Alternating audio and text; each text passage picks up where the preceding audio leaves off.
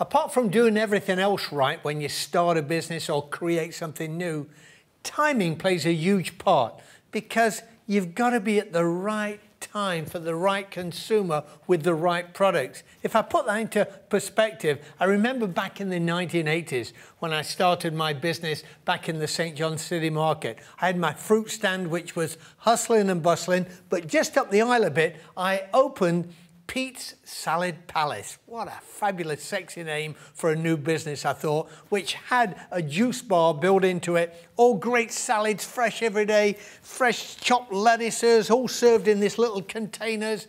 Wow, it was fantastic. But you know what? I never made it. I think I was before my time. I was probably 25 years too early with this idea.